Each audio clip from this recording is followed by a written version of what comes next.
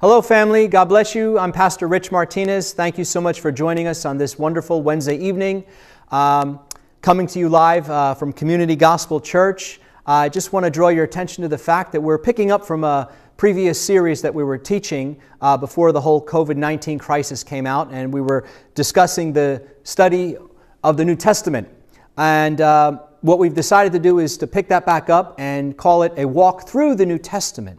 And I hope you're able to join me each Wednesday evening where we're going to be studying uh, through, through the, throughout the entire New Testament. And uh, we've already looked at the Gospels, the life of Christ. We looked at how the New Testament was formed, the historical background for the New Testament. Uh, we've looked at the book of Acts. But you can get all of our previous messages uh, on our website at communitygospelnj.com. And if you just go to the midweek Bible study link, you'll be able to have access to all of our notes. Uh, our notes for this evening are there, and uh, all of our previous messages uh, with the notes there in the midweek Bible study link. Uh, so we're studying the book of Romans tonight, and uh, if you have your Bibles, uh, get them out. If you have the notes, you can download them, um, and you have them. You have access to everything that I have here. All right? So um, we're studying the book of Romans, and my hope is that you not only learn the theology and the historical background of the different books that we're studying, but also how the Bible applies to us. If it's not relevant to us, then it makes no sense to us. Uh, so God's word is relevant and it has to be made relevant to us if we're going to get anything out of it. So I don't want this just to be uh, a historical study. No, I want this to be a life changing study, something that bears witness with your spirit, something that changes your life from the inside out. All right, will you pray with me and agree with me that God gives me utterance to deliver this message to you? And I just pray that you will just come with a hearing ear and an obedient heart.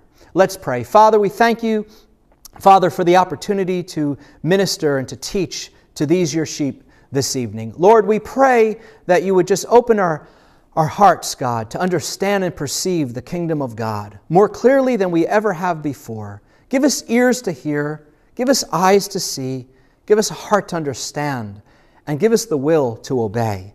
And do this, Father, through the power of your Holy Spirit, we pray. In Jesus' name, amen. So, we're studying the book of Romans. And uh, if you notice behind me, you'll see a picture, a painting on the wall that was painted by Diego Rodriguez Velazquez, uh, who lived from 1599 to 1660. Uh, there's not a whole lot about the Apostle Paul, but uh, historians tell us that he was rather short in stature. Uh, he was somewhat bald, uh, maybe had a, a, long nose, and very powerful individual, perhaps not in appearance, but definitely in character and in spirit. And uh, so I just wanted you to get a little glimpse of uh, how he's sometimes portrayed throughout history.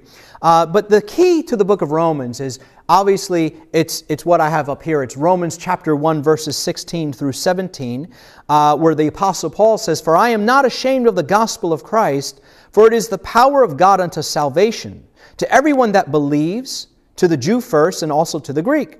For therein is the righteousness of God revealed from faith to faith, as it is written, the just shall live by faith. Now, I hope that you'll gain a better understanding of that verse by the time we're done with this study.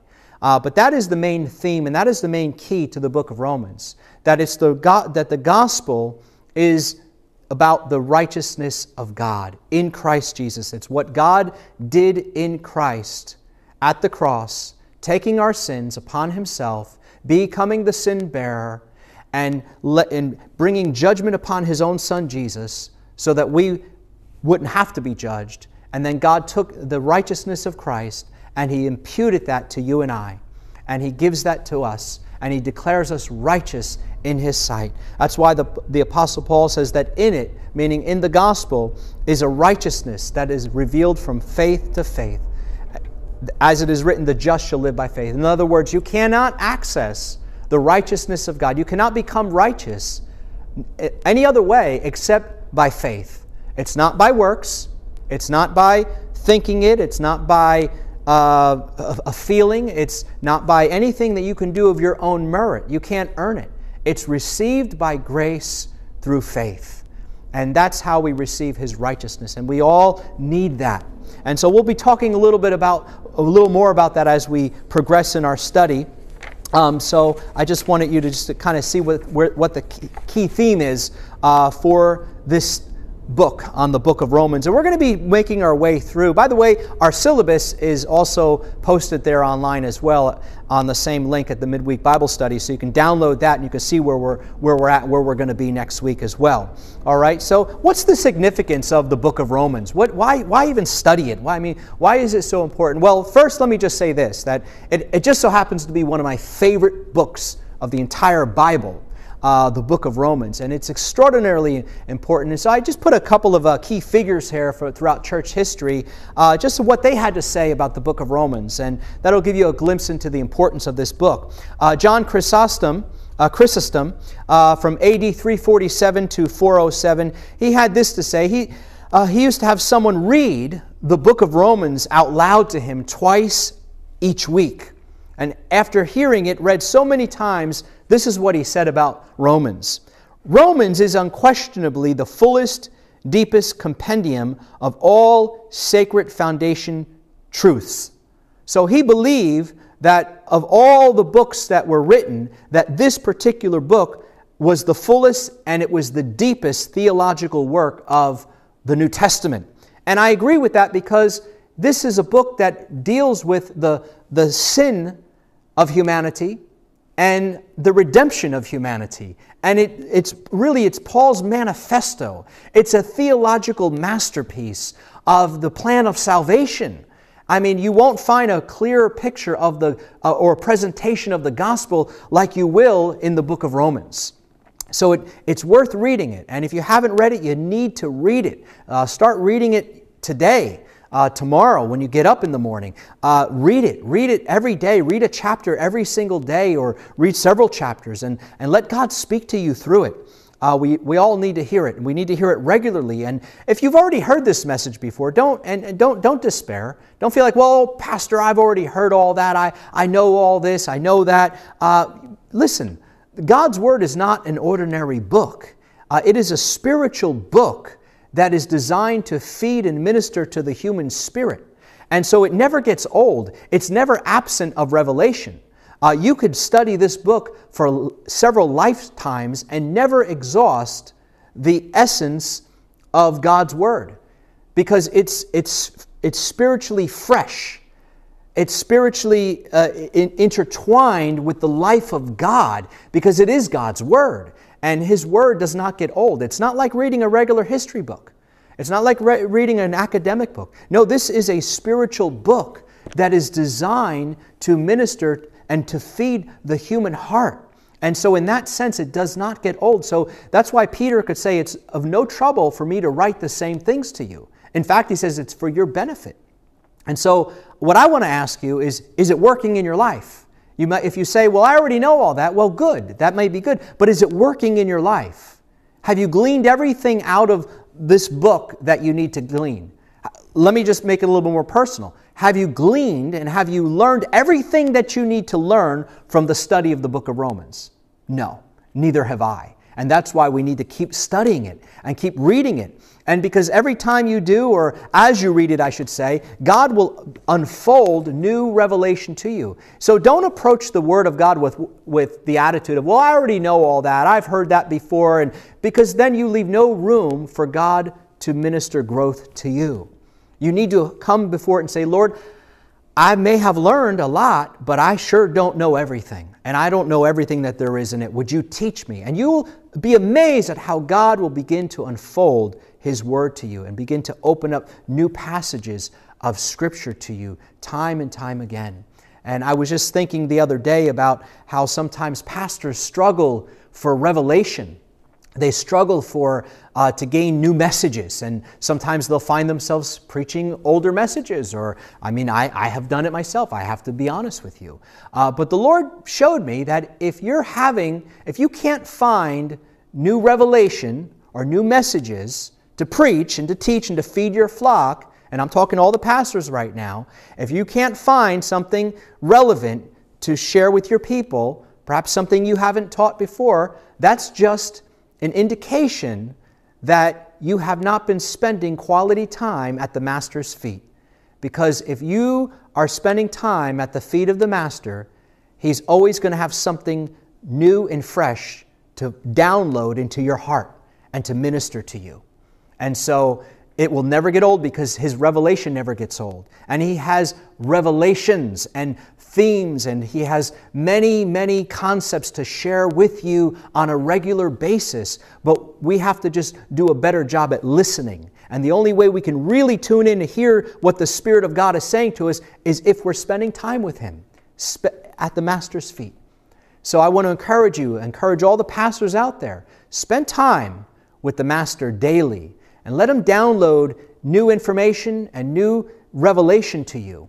If you're having to rely on old messages and old themes and old concepts and trying to dig stuff up or borrow people's sermons, then you may not be listening and you may not be spending that time with Him because if you're spending that time with Him, I can guarantee you He's going to be talking to you and you're going to have something to share and minister to the people. Praise God. I believe that was for somebody out there. Now, Augustine, from AD 354 to 430, he lived, and uh, great theologian of the church. This is what, what this is written about him concerning the book of Romans. He says, Augustine never wrote a full length commentary on Romans, but his theology was influenced by this letter more than any other New Testament letter. I'm always amazed at the story of Augustine in the garden, and he heard a little child's voice. And that little child was singing these words, Tolle lege, tolle lege, in Latin, and that means take up and read. And sitting next to him was a scroll from the book of Romans, and he picked it up, and his eyes went right to Romans chapter 13, verses 13 through 14. And there it talks about, uh, you know, putting off uh, the works of darkness, so to speak. And, but the one verse that stands out is to, but but to put on the Lord Jesus Christ. Or our modern translations would say, clothe yourself in the Lord Jesus Christ. And that, and that really was the one verse that brought conversion uh, to Augustine. And, uh, and that right there is what just lit him up for the Lord Jesus Christ uh, to hear that, to hear the very words from the book of Romans, to, to take up and read and to see those words of to put on the Lord Jesus Christ. And something miraculous happened to him in that moment. And he became one of the greatest theologians that the, the church has ever had or has ever known. Martin Luther uh, from the Protestant Reformation had this to say. Uh, well, let, let me just read this to you. He says that he formulated his understanding of sin, law, gospel, faith, salvation, and the righteousness of God by conducting an intensive exegesis or interpretation of this letter. And this is what he had to say. He said, This epistle is really the chief part of the New Testament and is truly the purest gospel. It is worthy not only that every Christian should know it word for word by heart, but also that he should occupy himself with it every day as the daily bread of the soul. So this was a, an extraordinarily, extraordinarily important book to Martin Luther. In fact, um, according to history, he was wrestling with the concept of the righteousness of God from Romans 1:17. And as he was wrestling with it, where Paul says that in it in the gospel, there is a righteousness of God that is revealed from faith to faith, as it is written, the just shall live by faith. But as he was wrestling with that concept of righteousness, um, he used to, you know, approach righteousness as this, that, you know, righteousness is something that we have to do, and, and it's, it's, it's based on our, our work, so to speak. But he got the revelation from that verse that it's more of a passive, more of a passive concept, meaning that, revel, that righteousness is something that we receive and that when we receive it by faith, that's it right there. You have been made righteous in that moment. And he caught that revelation, he caught a glimpse of that. And he said that when that happened, he says, these were his words, that he was altogether born again and had entered paradise itself through open gates. And he went on later to say that that place in Paul was, for me, truly the gate to paradise. So when he saw that righteousness is something that I don't have to work for, but I can receive by faith, and that I'm now clothed with the righteousness of Christ, the righteousness of God, I don't have to try to be righteous. I'm, I'm already made righteous. And of course, then we live that out. But that set him free because he struggled with that. And maybe you struggle with it. Maybe you struggle because you're always trying to gain God's approval. You're trying to work for something. You're trying to, you're afraid that if, if you're not doing the right thing or if you're, you're afraid that, that for somehow, no matter how hard you try, you keep falling short. Well, friends, I have good news for you. There, your righteousness is, is as filthy as rags. There's nothing that you can do to earn righteousness. There's nothing. In your own self, you have no power to live right. That's why you have to receive the sacrifice of Jesus and what he did for us at the cross. And when we do, we receive his righteousness based on his merit, based on his works, based on what he did for us. By dying on the cross and being crucified and shedding his blood for you and I, God imputes his righteousness to us. In fact, 2 Corinthians 5 21 says that he who knew no sin, meaning Christ, was made to be sin for us, that we might be made the righteousness of God. And God imputes his righteousness to us and declares us righteous. So you can relax in that and say, Thank you, Father, that I am righteous. And when you do that, grace is there to accompany it to help you to live out the Christian life.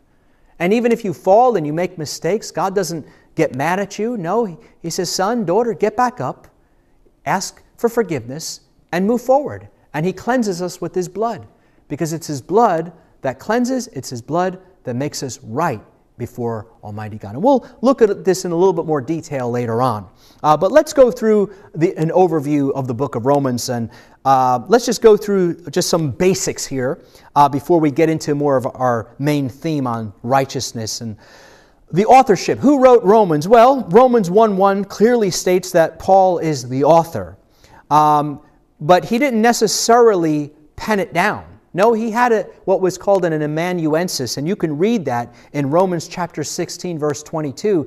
Uh, there was a, a fellow that was named Tertius, and he apparently was Paul's scribe. And in fact, he interjects in Romans 16 that he says, I, Tertius, wrote this letter. So Paul most likely dictated it, and then Tertius wrote it down. Um, but it's obviously Paul is the author. Um, all earliest church leaders believe Paul wrote it. So if we go back to early church history, uh, the patristic writers, or the early church fathers, as we would call them, uh, such as Ignatius, Polycarp, Justin Martyr, uh, Irenaeus, uh, all say that Paul wrote this letter. And also the Muratorian fragment of about 170 AD states this. But you can go back to some of our previous messages on how we got the New Testament. I talk a little bit more about the Muratorian fragment if you're interested in that. Uh, it was written between 57 and 58 AD. Um, it was written from uh, Corinth, where Paul was stationed at, and I'll look at that in a moment. But before we do that, I want to just take a quick glimpse at uh, who is Paul writing to? What was the audience? What was the audience at Rome? Uh, was it all Jewish people, or were there also Gentiles? Well, first, let me just say this Paul never established the church at Rome. Uh, the church at Rome was already there. In fact, if you go to the beginning of the uh, book of Acts, you'll find that there were visitors from Rome that came and that were there at the upper room. And uh, they were there. And so, where uh, God started this whole thing, where the Holy Spirit started all, all of this, there were visitors from Rome. And it's most likely that that's where the church was started and founded uh, by these visitors from Rome, uh, not necessarily from Peter per se. Although our Catholic brothers and sisters might say it was Peter was the, the founder of this church and all that. Well, if you go back to the book of Acts and you, you'll see that there, was, there were, on the day of Pentecost, uh, there were visitors from Rome. And they heard this message of the gospel, and they most likely went back, and, and that's where the church most likely got started because later on, Paul goes on in one of his missionary journeys and he says, Listen, I'm coming to you and I'm hoping that you'll assist me as I go on to Spain, and, and uh, I hope to have you support me. Uh, so uh, Paul was not the founder. Let's just put it that way for, for now. And but there were in this place there were uh, Jews and there were Gentiles uh, that were in uh, Rome, and that apparently, probably most likely founded by Jewish Jewish believers. Um, in fact, it's believed by many scholars that the original congregation of the Romans was predominantly Jewish initially. That is until there was an expulsion of the Jews or until the Jews were exiled and sent into exile out of the city of Rome. In fact, um, you can read this in the, in the book of Acts, chapter 18, verse 2. It says that, that there was a, uh, a, a basically a riot, if you will. And, uh, well, it, it, actually says that there was a, uh, that Claudius, uh, the emperor of Rome, um, evidently uh, kicked out the Jews. And uh, Suetonius, who was a writer for the Romans, basically said that they were, and this isn't in Acts, but it says that they were arguing over one by the name of Chrestus. And not Christus, but Chrestus, C H R E S T U S. But it just seems to be a, a variation of the word Christ. and uh, so it could be that they were arguing over Christ. And it got into such a heated debate and an argument, and it ended up in a riot, and Claudius kicked out the Jews. And that left a lot of the Gentiles, those that were non Jewish. It left them there. And apparently, uh, by the time that the Jewish Christians were uh, allowed back into Rome, when by the time Paul's writing, this congregation is predominantly Jewish and Gentile and it has probably a, a, Gentile leadership, and there were certain tensions now that had already evolved and developed between Jews and Gentiles over food laws, and uh, Gentiles are probably saying, "Listen, we, you know, we've accepted Christ by faith. We don't have to observe the law and these food laws and Sabbath days and circumcision." And maybe there were Jews saying, "No, we have to observe." The, these food laws and circumcision, and we have to observe uh, holy days and things of that nature. And there was tension there. That's why Paul in Romans chapter 14, he talks about the weak and the strong. You can see the Jewish and Gentile tensions that are uh, prevalent there. Um, so it's fair to say this that, just in a simplistic form, that by the time Paul's writing to the Romans, there's both Jews and Gentiles there. Uh, just like this picture here, you see a little, uh, an older picture of our congregation. We would be considered Gentiles, and then there's also a Jewish population there off to the side as well. Uh, but this would have been kind of like the church at Rome. You have two different uh, people groups, so to speak. And, um, but God bless them. You know, uh, you know, God is all encompassing. He's not, He doesn't exclude uh, certain people groups, so to speak. The gospel is for everybody. It's for, the gospel is for both Jew and Gentile. All right. Now you say, well, what is Gentile? Well, Gentile just means that you're not you're not necessarily uh, or means without, you know, someone who is without God, so to speak, or a pagan, if you will. And the Jews were considered to be those with God. So it just became a term over time to, to, uh, you know, to talk about non Jewish people that they were considered Gentiles. And, uh, but the gospel is to everybody, it's to, Jew, to Jews and Gentiles. So let's look at the main theme here of the, of the uh, book of Romans. And it's a very uh, looks almost like a convoluted map, but all these different lines and circles. And this really is just a, a, uh, a map of Paul's missionary journeys, his first, second, and third missionary journeys. And also the green line there actually represents his journey to Rome, and then ultimately he's going to go off to Spain. And Paul was really hoping to get uh, to Rome so that he could find support for his ultimate missions trip, which was going to be to Spain. In fact, if we read from uh, Romans chapter 15, uh, the, he tells us that, that he's planning to visit them at Rome. And this is what he says in verse 23 But now that there is no more place for me to work in these regions, you see, Paul had already been around this whole area called the Illyricum, and he had been down the first, second, third missionary journeys. And uh, he, started, he started over here in you know, Jerusalem, and then he just, he kind of, you know, his churches were established. Then there was a second missionary journey, and then the third missionary journey, and he kept re uh, visiting some of the churches, strengthening them. So he had been over these areas several times. And then finally, he says, Look, I want to get to Rome. And I want to, and I'm hoping that when I get to Rome here, that you will support me financially so that we can get the gospel all the way to the far western world, which at that time would have been, would have been Spain. So this is what he says here. And he says, uh, since I have been longing for many years to see you, he says in verse 24, I plan to do so when I go to Spain. I hope to visit you while passing through and to have you assist me on my journey there after I have enjoyed your company for a while. You see, he was hoping to stop off at Rome and then have them assist him financially so that he could go to Spain and spread the gospel. Now, we don't know whether or not he ever made it there or not, Uh, it, I don't know that he did. I don't know that he didn't. Um, but we do know that he died as a martyr under Nero's reign, executed, uh, beheaded, Roman execution style, um, while he was in prison. So we don't, uh, probably around 62 to 64 AD, I think, uh, somewhere in that vicinity. So we don't know that whether he got there or not. Uh, but his intention was to spread the gospel. And friends, that's what our intention has to be. I mean, that's got to be our mission. That's got to be our focus to get the, the gospel out. Why? Because it's the good news. We're called Community Gospel Church for a reason. The word gospel means good news. And we want to share that good news with you. We want to share it with our neighbors. We want to share it with the world. That's why we support missionaries and all around the world uh, because they need to hear the gospel. They need to hear that Jesus died for them, that his blood was sacrificed. And friends, there is no other way. Jesus said that I am the truth and the life. No man comes to the Father except through me. So he's the only way. He is the only way in the truth, and he's the one that we need to receive as our Lord and as our Savior. He's our sin bearer. He bore sin in his own body. He died with it. He was judged by God for it. In fact, he, he cried out on the cross, My God, my God, why have you forsaken me? Why would God do that? Why would, why would, why would Jesus even cry that out? Because God had to reject his son for a brief moment so that he could accept you and me.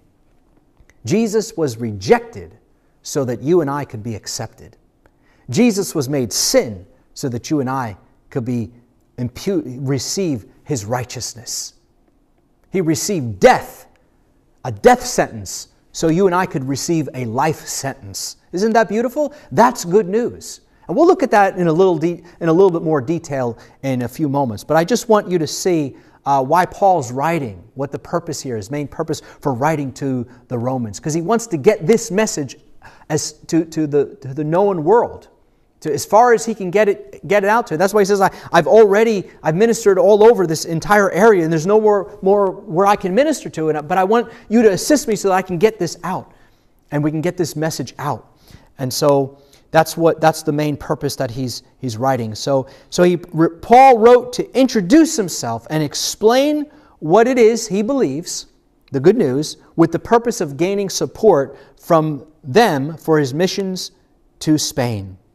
And really what I love about this is that it really resulted in his greatest theological masterpiece, the book of Romans. You see, he's writing to them his theology. He's telling them what he believes. He's talking about righteousness and justification and redemption. And he's saying, hey, this is what I believe. And I hope that you'll support me in my missions to Spain. And that's ultimately, that's his goal. And thank God he wrote it down because you and I are the recipients of that. And we benefit from, from that letter. So that's one of the main purposes. Now, there's other sub purposes in here, and uh, we could talk about him wanting to heal the rift between the Jews and Gentiles. In fact, he talks about uh, taking up a collection from the Gentile churches and bringing that to Jerusalem to help the, the saints there, the, the Jewish Christians there. And by doing that, he would bring healing between Jews and Gentiles. So uh, there's other sub purposes, you could say, as well. But this is the main purpose. All right? So let's take a brief look at the, uh, of the outline of the book of Romans. And uh, this is a real simple outline, something I developed uh, several years ago uh, in seminary, but I thought this was really something that just encapsulates the entire 16 chapters of the book of Romans in a nice uh, encapsulated version, if you will. Uh, but Romans chapter 1 to chapter 3 uh, I've entitled it Universal Sinfulness and Guilt of Humanity, because Paul really lays out this, his theology of sin in these first three chapters, to, really just to say that, hey, we're all under sin. Nobody's, nobody's righteous in God's eyes. Jews are not righteous in God's eyes, Gentiles are not righteous in God's eyes. In fact, Paul says in this chapter, I think it's chapter 3 if I'm not mistaken, he says that. Uh, our righteousness is as filthy as rags. He says, Nobody's righteous. God's concluded us all as being under sin. So, but what are we going to do? If we're, if we're, if we're sin bound and we're, sin, we're, we're, we're haunted by this sin nature, this fallen nature, this, this, this, you know, that, I mean, this fallen world that we're living in. I mean, look, look, folks, don't blame God for what's going on out there right now. Don't blame God for this COVID crisis. If you want to blame anybody, you can blame sin because sin is the reason why this exists. It's the fallen condition of humanity, it's the curse on the earth, and things are happening. See, Jesus, the Bible says that Jesus came to give life and to give it more abundantly. But the devil comes to steal, kill, and destroy. And the enemy, the devil, because there is a real devil, you cannot have in this world that we live in, if you, you have God, but God is all good, the devil is all bad. And he's taking this bad, this sickness, this disease, and he's spreading it. And at the same time, he's blaming God and saying this is God's fault. And God has nothing to do with this. This is the work of the enemy who's trying to destroy men's lives, people's lives. And Jesus is saying, I've come to give men and people and women, to give people life and to give it more abundantly. I am actually I'm reminded of when Jesus was trying to uh, head to Jerusalem and he was going to stop off in Samaria and he was going to kind of just, you know, stay there, I guess, for a day or so. But the Bible says that the Samaritans would not receive him. And I think it was James and John who, who said to the Lord, he said, they said, Lord, do you want us to call fire down from heaven and destroy them because they won't receive you? I'm paraphrasing here. And Jesus looked at them and said, You don't know what spirit you are of. In other words, that's the wrong attitude. James and John, Peter, that's the wrong attitude. He says, You don't know what spirit you are of. He said, I have not come to destroy men's lives, I've come to save them. And that's exact, and that message has not changed to this day. Jesus did not come to destroy us or, or destroy people or put sickness on people. No, He came to save us. He came to redeem us. That's why He went to the cross. That's why He said, I've come to give you life and to give it to you more abundantly. Just call out to Him. Just say, Jesus, save me. Save me from my sins. Forgive me. Come into my heart. Be my Lord. Be my Savior. Help me. And He'll do it.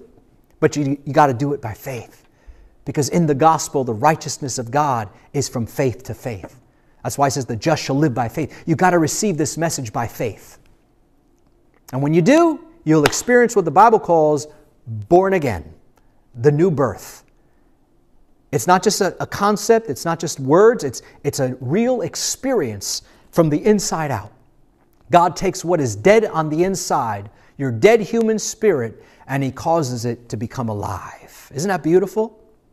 When, the moment you receive Jesus as your Lord, and as your Savior, Jesus comes into your heart through His Holy Spirit and gives birth to you on the inside and takes that dark heart and makes it a fresh, living, new heart. That's what Ezekiel talked about. That one day, eh, under this new covenant that we have now, Ezekiel said that God would take out the stony heart and put in you a fresh heart, a fleshly heart, meaning a tender heart, a real heart a heart that is full of the grace and love of the Lord Jesus Christ. And that's the new covenant. That's what we have. And all you have to do is accept Him as your Lord and as your Savior, and He'll do that for you. Praise God. And when we get to, but look at this, now watch this. Romans 1 to chapter 3 is the universal sinfulness and guilt of humanity. Paul saying we're all up underneath this sin.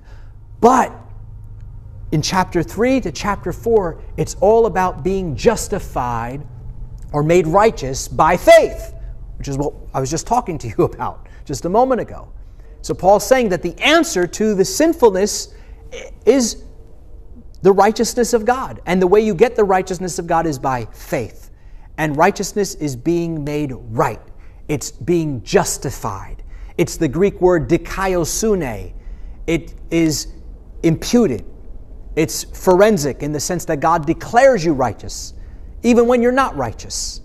He says, You are right with me because of the sacrifice that my son made on your behalf. And he declares it. And he decrees it, he declares it, he imputes it to you.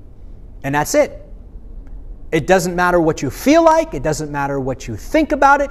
When you receive Jesus as Lord and Savior, you're made righteous.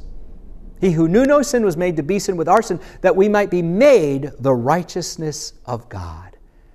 And what do you say, Pastor? What is righteousness? It's right.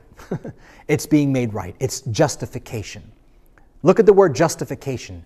Just if I never sinned. Justified. Just as if I never sinned. Justification.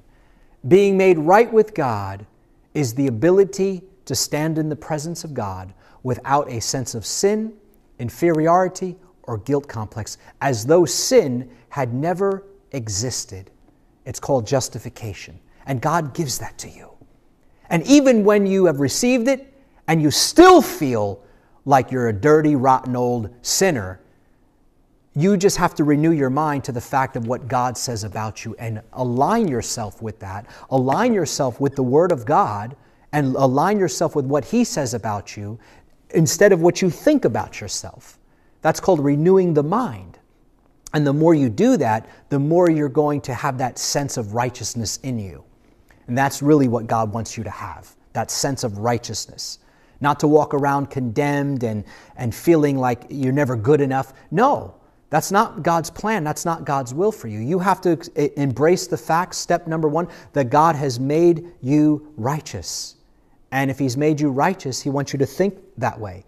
And, you, and so what you do is say, Father, thank you for giving me your righteousness. Thank you that I'm made righteous according to your word because of the sacrifice that Jesus made. And when you have that sense about you, it gives you the confidence then to pray in faith. Because you can't really pray effectively if you're praying from a, a sin consciousness, if you're praying from a guilt consciousness because you really don't believe God's going to answer your prayers because you're afraid of Him. And you have this guilt and you just hope that He's going to answer it. And there's no confidence, there's no faith in it. That's why your prayers are not answered. But when you have this confidence that, Lord, I thank you for who you made me to be in you, I have your righteousness, I can now approach you.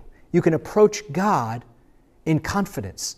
That's why, if you go to 1 John, uh, I'm kind of deviating a little bit, but let me just give this to you because I think this will, will help you in your prayer uh, in your prayer life.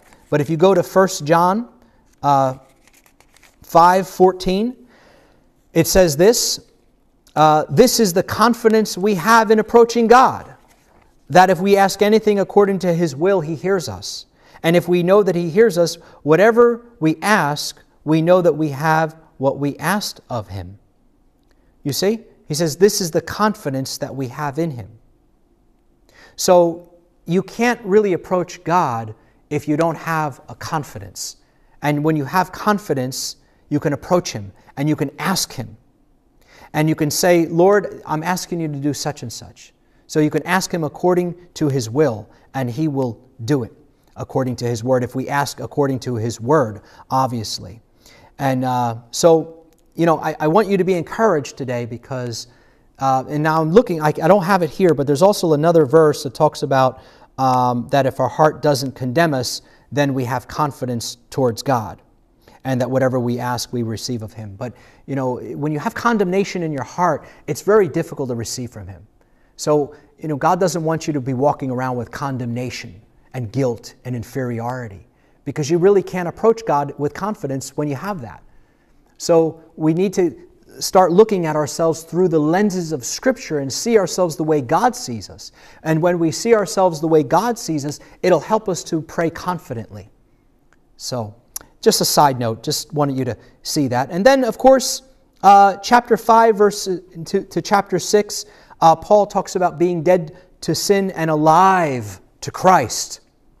So he's going to go into the whole process. He's going to compare Adam with Christ. He's going to contrast those two. He's going to say that in, in Adam we all were dead because of sin, but in Christ we are made alive because of what Jesus did. And then in chapter 7, it's the triumph of grace over law and sin. Now, chapter 7 is a very, very uh, interesting chapter because it, it, it's, it's almost. Uh, how do I say this? It's a stumbling block for some Christians because some Christians get caught up in seven because Paul talks about the, the struggle that when I want to do right, I can't seem to find the ability to do right. And I keep stumbling over my sin. And he's talking about that. Uh, but what Paul's really doing there is he's talking uh, somewhat rhetorically, as if he were a individual trying to get free from sin through the law. He's basically saying that it's futile, that trying to obtain freedom from sin by obeying the law, it doesn't work. That's what he's really trying to do in chapter 7. But you got to get out of chapter 7. You can't live there, and you got to get over into chapter 8. Because chapter 8 is being made alive in Christ through the Holy Spirit. It's, in other words, it's, it's, it's how we live victoriously over sin by the Spirit. That's what Paul's saying. He's saying that it's through, this, through the law of the Spirit of life in Christ Jesus that makes us free from the law of sin and death. You see, the law of sin and death will try to keep and weigh you down, but through the power of the Holy Spirit, through the law of the Spirit of life in Christ Jesus, it'll set you free from the law of sin and death. So he's saying you got to get out of that chapter 7, trying to obey, trying to keep the law to get free from sin, which doesn't work. and just keep, you keep falling into it over and over. You got to get out of that and you got to get over into chapter 8, which is obedience to the Spirit, to receive the new life and newness of the Spirit of life. And by yielding to the Holy Spirit, He'll empower you to live victoriously over the law of sin and death, and you'll walk in freedom.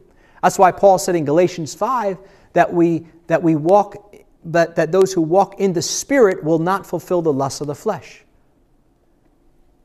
So when you live after the Spirit, you won't live after the flesh. It's, it's just the way God designed this. All right. And then in chapter 9 uh, through 11, Paul talks about Israel's plan. Uh, he talks about God's plan for Israel, for the Jewish people uh, their past, their present, and their future, and how they are also part of the plan of God. In fact, Paul says that the gospel came to us, that we were, we were grafted in, that they are the ones with the promises and the covenants, the Jewish people. But we were grafted in because of their disobedience, so to speak. And God paved the way for the Gentiles to come in. And when the full number of Gentiles come in, God's going to revisit Israel, and God is going to bring them in along with us. And so uh, chapters 9 through 11. Uh, and then chapters 12 through 15 talks about practical Christian living and being submissive to authority and uh, just general uh, Christian practices and Christian living. And then, of course, Paul closes in chapter 16. All right, and lists several people there that, uh, that he thanks. Um, but let's go back. I want to go back for a moment and I want to talk to you about the main theme of the book of Romans, and then we'll have one other slide after this, and then we'll, we'll close it up. Uh, but the, this theme again, Romans 1 16 through 17, this is the thread that runs through the entire uh, New Testament, in my opinion, but particularly through uh, the book of Romans, where Paul says, I am not ashamed of the gospel. Why wouldn't he be ashamed? And let me ask you a question Are you ashamed of the gospel? Are you ashamed of the good news? I hope not. We have nothing to be ashamed of. We ought not be ashamed.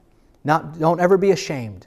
Don't ever be ashamed for what Jesus did for you at Calvary, ever. He says, I'm not ashamed of it. Why? Because it is the power of God. Woo, man, I love that. That just, that just gets all over me. He says that it's the power of God. I mean, this book is full of God's power, life giving power. But power of God for what? He says, for salvation, to save you, to deliver you, to redeem you.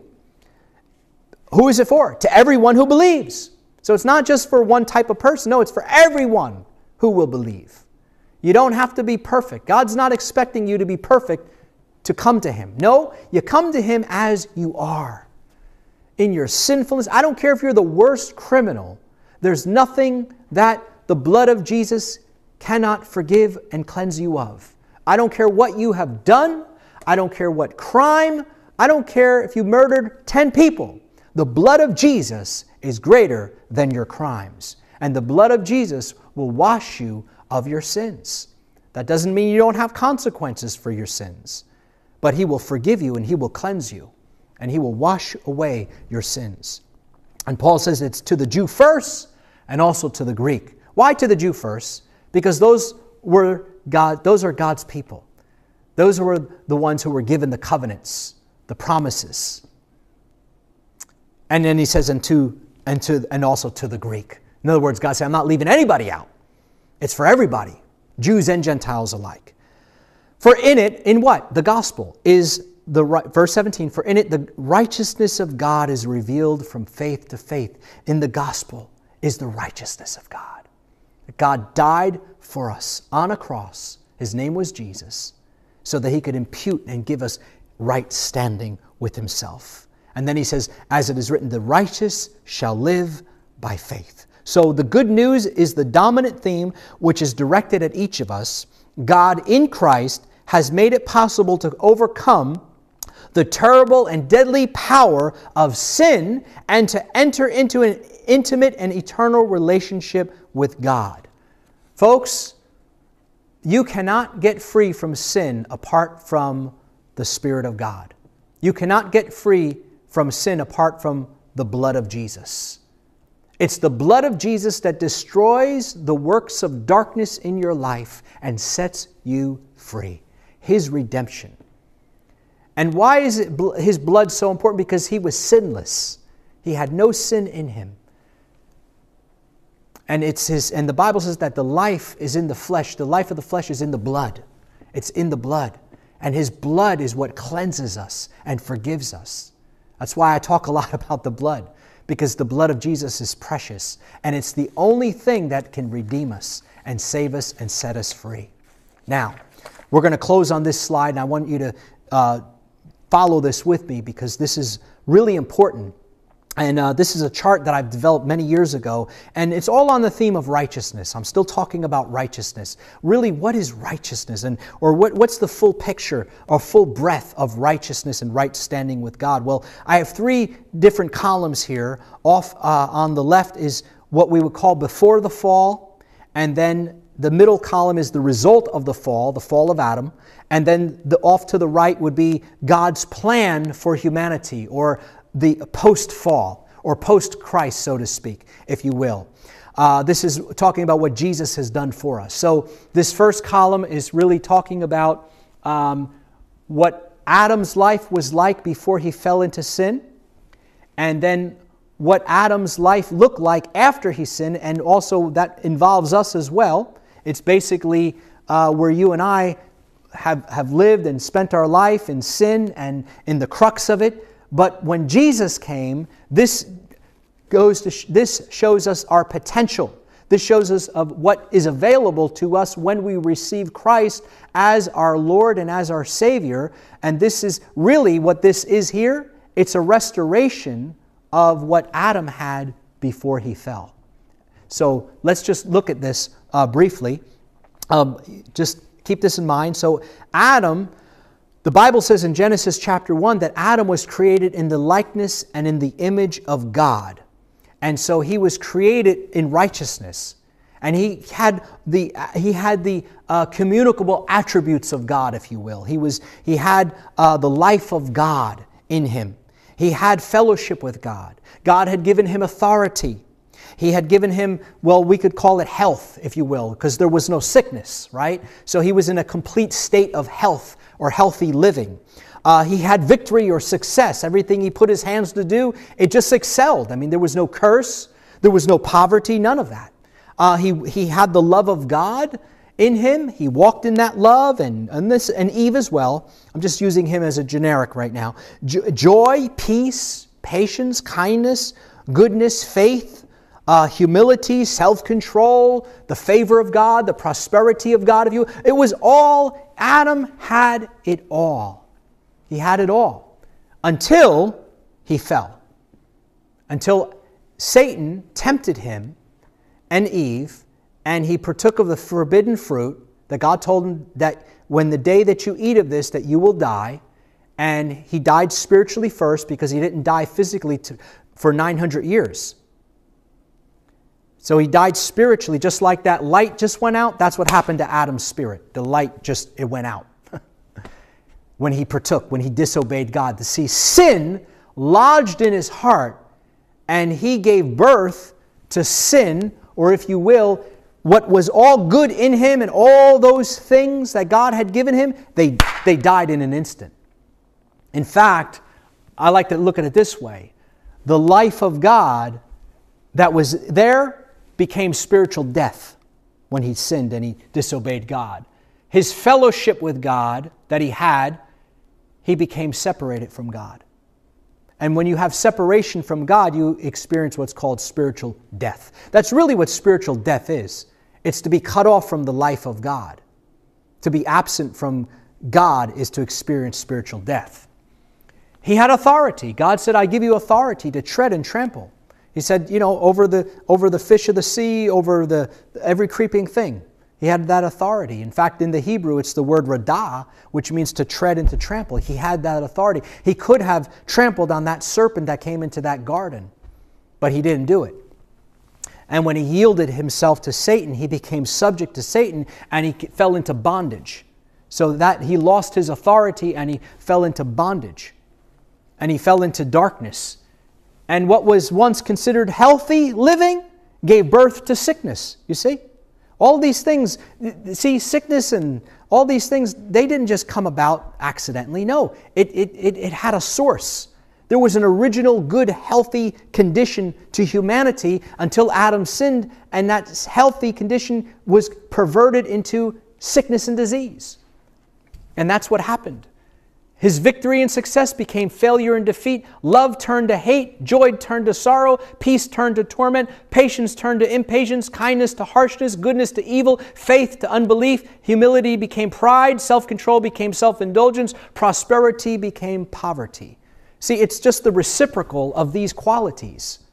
These qualities are not new. They were, they were all good and then they were perverted, and these are the things that humanity became encompassed with and bound by because of Adam.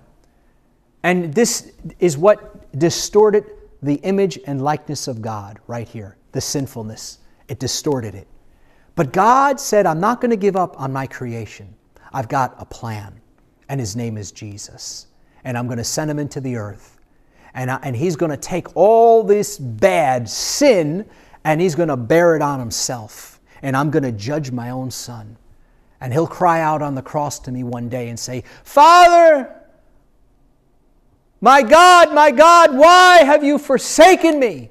You see, God judged his own son Jesus, turned his back on him for a moment so that he could turn his, his eyes towards us, towards me and you. And Jesus died with our sin. And the Bible says he was made to be sin. Can you imagine that? You, you read it over in uh, Isaiah. It talks about that his image and his was so marred and distorted beyond any form of man. Well, what could do that? Sin. God took all of sin, all of humanity, and he put it on Jesus. And he became the sin bearer. That's why Jesus had a hard time in the Garden of Gethsemane. And that's why he sweat drops of blood. That's why he said, he said, Father, if there's any other way, if there's any other way, he said, take this cup from me. Meaning he was going to have to drink the cup of sin on the cross. That was, and become sin. It says, He who knew no sin was made to be sin. He was made sin, folks. And that's why, and he had never been separated from his heavenly Father for eons of time. And this is going to be the first time he's going to be, he's going to be separated from his father and practically put into the hands of Satan, if you will. Made a sin, a, sinful uh, sin being put on him, so to speak. And that sin is what marred and distorted him, and God judged it. But Jesus never sinned, so he was not a sinner. And that's why death could not keep him. Death could not hold him. The grave could not hold him because he had never sinned. And God said, I'm going to raise him up three days, three nights in the heart of the earth, the Bible says. And he said, I'm going to raise him up. And he raised Jesus up. Woo! Glory. he raised him up and he seated him at his own right hand. And he offers to you and I this righteousness.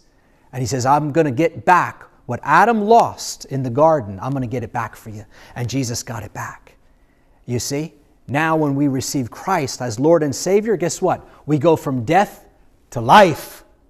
We go from being separated from God to being having fellowship with Almighty God because of the sacrifice of Jesus. We go from bondage to having now authority once again.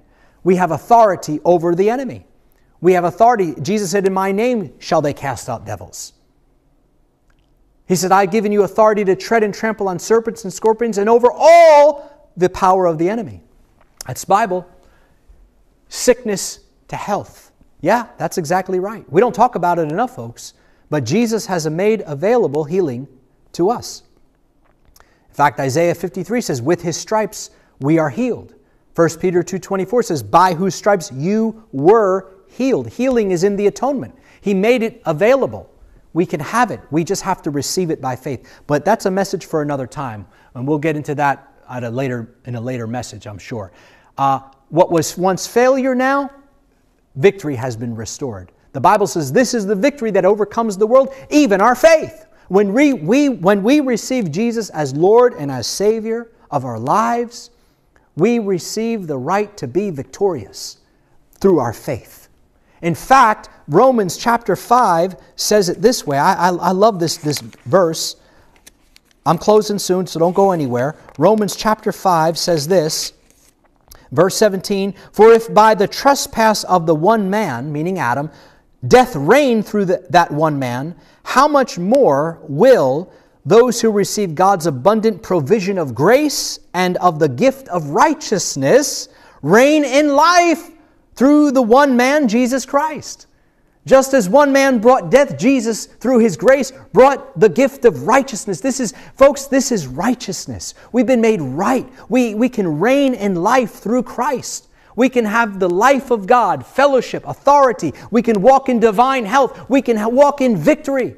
We have the fruit of the Spirit restored back into us love, joy, peace, patience, kindness, goodness, faith, humility, self control. God's God, God wants to, to favor you, give you his prosperity, give you his health, give you, give you new life. It's all found in what Jesus accomplished for us at the cross. It's almost as if God said, I'm restoring back to humanity what Adam had lost. What Adam once had, Jesus says, and Adam lost, Jesus got back for us. It's a recreation, a re restoration, if you will. I think it's one of the most awesome things. It's what Jesus did for us. And now we're not home yet, we're not in heaven yet. We know, so we only have what, what theologians call the already but not yet. You see, we're already redeemed, but guess what? We're still going to die in our physical bodies. We're not there yet. When we get to heaven, we'll get new glorified bodies, just like Jesus' body. I wish I had time to go into that, but I don't. So, friends, I just want to encourage you be encouraged. God is on your side. God loves you. Jesus paid a great price for you at Calvary, at the cross. And all you've got to do is receive Him as Lord and Savior, and this will be your inheritance. And you don't have to earn it, you don't have to work for it. All you have to do is say, Jesus, come into my heart, be my Lord, be my Savior. And God will impute to you Jesus' righteousness. Jesus will make you right in His eyes through His shed blood, through His sacrifice, and you just receive it by faith. You see, friends, you don't have to try to get the life of God when you receive Christ, He gives it to you automatically. When you receive Him, He says, You have now have life. When you, re- when you uh, receive Christ, He says, Now you have fellowship with me. Now you have my authority. Now I make you healed. That's why Peter said, he said, by his stripes you were healed. He was looking back at the cross. By his stripes you were healed, healed by the cross. Victory belongs to you. You're already more than a conqueror. You just have to, friends, just agree with the word of God. Say this with me. Say, I am more than a conqueror. I can do all things through Christ who strengthens me. Say this with me. No weapon formed against me shall prosper. Say this with me. I can do all things through Christ who strengthens me. Say this with me. For he who knew no sin was made to be sin with my sin, that I might be made the righteousness of God. God bless you, family. Let me pray for you. Father, we thank you. We give you glory. We give you honor. We give you praise. We thank you for this wonderful message that you brought us tonight. Lord, I pray, God, for each of those that are listening, that God, that, they, that this word will go down deep in their hearts. Lord, bless your people right now. Make it real to them, Lord.